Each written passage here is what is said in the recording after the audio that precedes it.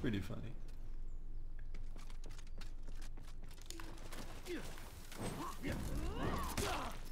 Jeez, that must be really easy to hit. What? the-